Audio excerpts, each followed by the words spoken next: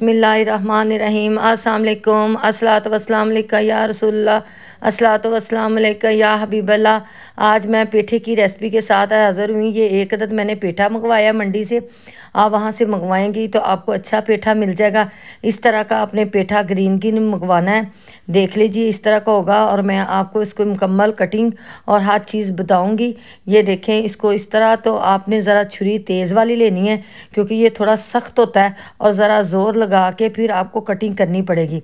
ये देखें, मैं बड़ी मुश्किल से इसकी कटिंग कर रही हूँ। थोड़ा मेरा गला ख़राब है तो इसलिए ज़रा मुझसे सही तरीके से नहीं बोला जा रहा। ये देखें, इस तरह इसकी आपने कटिंग करनी है और करने के बाद ये देखें, अंदर की तरफ़ बीज है और आपने जो जो बीज का हिस्सा है ना, मुकम्मल जहाँ तक बीज शुरू होते हैं, वहाँ तक आपने इसको निकालना है और ज़रा एहतियात से काटिएगा। ये ना हो आपके हाथ कट जाएँ, ये बहुत ही मज़ेदार हलवा बनता है। ये देखें, इस तरह आपने ऐसे पूरा यानी कि जितना बीज का हिस्सा है सारा आपने निकालना है। ये तकरीबन तीन, साढ़े तीन किलो का मेरा पेठा है, लेकिन इसमें से बहुत थोड़ा पेठा निकलता है। आपको पता है इसके बीज वाला हिस्सा भी निकालना होता है और इसके छिलके भी मोटे उतरते हैं। ये देखिए, नीचे तक बीज वाला हिस्सा है, लेकिन ये आपने मुकम्मल पूरा हिस्सा निकालना है, वरना आपका हलवा जो है वो कड़वा बनेगा। ये बहुत ही मज़ेदार बनता है। ये सर्दियों में भी खाया जा सकता है और हल्की पुल्की सर्दी में भी खाया जा सकता है और ज़्यादा सर्दी में भी खाया जाता है। ये देखें, इस तरह आप इसको साफ़ करके अब हम इसके पीस काटेंगे। ये देखें। और अब पीछे से छिलका इसका उतारेंगे और सारे इसी तरह पीसेस करके सबका हम छिलका उतारेंगे। मेरी वीडियो पसंद आए लाइक और शेयर ज़रूर किया करें और अपने कमेंट बॉक्स में बताया करें कि आपको मेरी वीडियो कैसी लगी। इन आपको हर वीडियो बड़ी तफसील से बताऊँगी ताकि आपको बनाने में आसानी हो और आप मुझसे अच्छे तरीके से ये बना सकें। ये देखें, मैंने तमाम पीस काट लिए अब इसको हम कद्दूकश कर लेंगे। तमाम क्योंकि ये आपको पता है बहुत नरम होता है और ये पानी से भरा हुआ होता है। इसलिए बड़े आराम आराम से आप कद्दूकश कीजिएगा, वरना ये टूटता जाएगा। सारे पीसीस को कद्दूकश कर लेंगे और उसके बाद हम अगला काम शुरू करेंगे। जब वीडियो को ध्यान से और गौर से देखा करें, पूरी वीडियो को, ताकि ये मुझसे बेहतर तरीके से आप रेसिपी बता, बना सकें। इन बग़ैर खोए के बहुत ही मज़ेदार ये रेसिपी बन के तैयार होगी। चाय के साथ आप ये खोया वाला हलवा, ये, पेठे का हलवा खा सकते हैं। बहुत ही मज़ेदार होता है। और ये देखें, इस तरह हमने इसके तमाम पीसीस को कद्दूकश कर लेना है। इस तरह। ये देखें, इसी तरह हम तमाम पीसीस को कद्दूकश करेंगे आराम आराम से, क्योंकि इस तरह फिर इसके टुकड़े उतरते जाएँगे। और ये देखें, मैंने तमाम पीसीस को कद्दूकश कर लिया। अब इनको हम हाथों की मदद से इसका पानी अच्छे तरीके से निचोड़ लेंगे, क्योंकि इसमें पानी बहुत ज़्यादा होता है। इसलिए आपको दबा दबा के अच्छे तरीके से पानी इसका निचोड़ना पड़ेगा। ये इंशाल्लाह आप बनाएँगे तो फिर देखेंगे कि आपका हलवा कितना टेस्टी बनता है। ये देखें। इस तरह आपने तमाम जितना भी इसका हमने कद्दूकश किया है पेठा, इसको सारे को अच्छे तरीके से इसका पानी निचोड़ लेंगे। आप अपनी कमेंट बॉक्स में बताया करें, अपने अच्छे अच्छे कमेंट में कि मेरी वीडियो आपको कैसी लगी और आप मुझे कहाँ कहाँ से देख रहे हैं। इन आपको जो भी नई रेसिपी चाहिए होगी, आप मुझे अपने कमेंट बॉक्स में बता सकते हर किस्म की डिशेस और आपको रेसिपियाँ बना के दूँगी, ये देखें। इसी तरह हम तमाम प्रोसेस इसका मुकम्मल कर लेंगे। इस तरह। और फिर हम इसके तमाम पानी निचोड़ने के बाद इसके आगे का काम शुरू करेंगे। ये देखें, ये इसकी कुछ चीज़ें, ये मैंने तमाम पानी निचोड़ लिया है, ये हाफ़ प्याली मैंने लिया है खुश्क दूध। ये इससे खोया हमें डालने की ज़रूरत नहीं पड़ेगी, एक प्याली दूध की और ये पौनी प्याली मैंने चीनी की ली है। वैसे अपने हिसाब से आप मीठा कम ज़्यादा कर सकते हैं।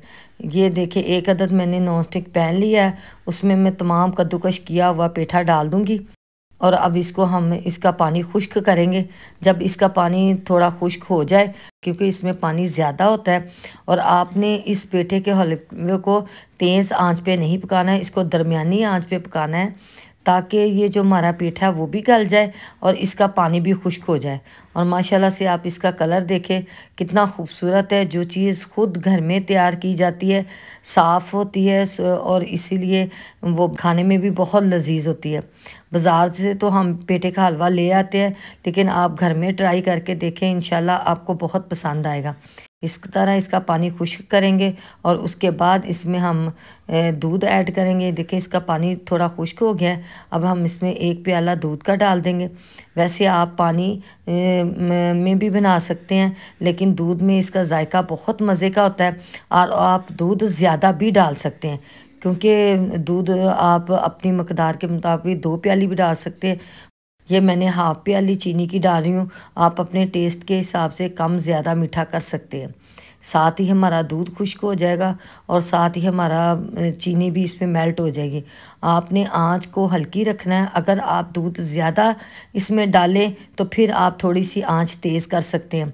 क्योंकि इस तरह दूध के अंदर हमारा, दूध डालने का मकसद ये होता है कि हमारा जो पेठा है, ये अच्छे तरीके से अंदर तक कुक हो जाए। ये मैंने इसमें घी मेल्ट करके डाला है। मैंने आधा कप घी का डाला है और ये घी में ही हलवा बनता है। पेठे के हलवे में आयल नहीं डाला जाता क्योंकि इसका इतना ये मज़ेदार नहीं बनता। ये जो भी आप हलवा बनाएँ, पेठे का बनाएँ, गाजर का बनाएँ, दाल का बनाएँ, उसमें घी ही जाता है। आपकी मर्ज़ी है, आप देसी घी भी डाल सकते हैं, डालडा घी भी डाल सकते हैं।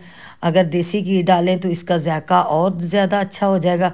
ये देखें, इसी तरह हम इसको डाल के तो इसको अच्छे तरीके से भूनते जाएँगे साथ साथ इसको भूनेंगे और साथ ही इसका दूध भी खुश्क हो जाएगा। और ये देखें, माशाल्लाह से इसका दूध भी खुश्क हो चुका है और चीनी भी मेल्ट हो चुकी है और देखें, इसका घी चारों तरफ़ से निकल चुका है और ये अच्छे तरीके से हमने इसकी भुनाई करनी है। जैसे जैसे आप बुनाई करते जाएँगे, इसका हल्का सा कलर भी चेंज होगा और बहुत प्यारा कलर आएगा। और जब इसका घी निकल आए तो ये हम खुश्क दूध डालेंगे। खुश्क दूध डालने के बाद आपने इसको तेज़ तेज़ चम्मच चलाना है और इन आपका हलवा बहुत ही मज़ेदार और खाने में भी आप देखिएगा, बहुत टेस्टी होगा। और इसकी लुक चेक करें माशाल्लाह से, कितना प्यारा इसका कलर आया सुबहान अल्लाह। ये देखें, इसी तरह हम इसके अंदर आहिस्ता आहिस्ता आपने खुश्क दूध डालना है। एकदम से सारा खुश्क दूध मत डालिएगा। ये देखें, इसी तरह आहिस्ता आहिस्ता डालते जाएँगे और मिक्स करते जाएँगे। जब आप खुश्क दूध डालेंगे तो आप देखेंगे कि आपको खोए की कोई ज़रूरत नहीं पड़ेगी। बग़ैर खोए के हमारा जो पेठे का हलवा बहुत ही मज़ेदार बन के तैयार होगा। ये देखें, इस तरह। आहिस्ता आहिस्ता मिक्स डालते जाएँगे और मिक्स करते जाएँगे। साथ ही हमारा खोए का जो ये पेठे का हलवा है, बगैर खोए के एक तो भुन भी जाएगा और एक बहुत ही मज़ेदार और टेस्टी ये लेकर माशाल्लाह से मैंने डिश आउट कर दिया है। ऊपर मैंने बादाम वगैरह डाल दिए हैं। आप अपनी मर्ज़ी के मुताबिक काजू, बादाम, जो आपका दिल करे, आप खुश्क मेवा जार डाल सकते हैं। और ये देखिए माशाल्लाह से आप हलवा चेक करें।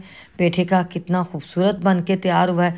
इसके साथ ही मुझे इजाज़त दें। अल्लाह हाफिज़। अपनी दुआओं में याद रखिएगा।